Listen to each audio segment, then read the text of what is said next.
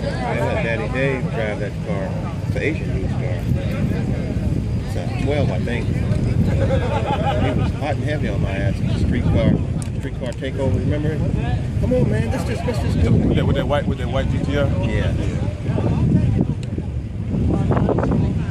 Wish I had a real like a good camera. I don't think everybody that's claiming 1300's got those. Your ass is too close to them for them to have 1300.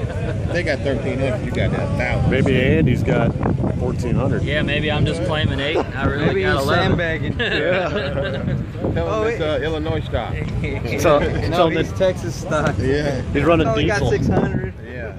Is Yeah, a- it's this bolt-on Got- FBO pump gas. It's got the cats taken off of it. That's it. I just welded some straight pipe in. Yeah, I got some Flowmaster uh, two stage. Three chambers on it. Yeah, it's three, three Couple chambers. couple tornadoes stuffed in the intakes. There you go. I bought it from the guy. He got it repossessed after he got it. He had pay for it. Yeah. Going After, like this. after this summer, I'm gonna take it off and do an LS swap on it. Yeah. Some guy came up to me and asked, "Man, you got cats on your car?" I'm like, "Yeah, two Persians." Nice. Here we go.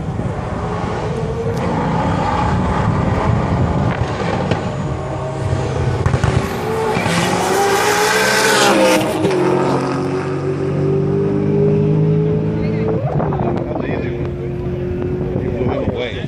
It's rolling boost. Rolling boost. didn't cheat.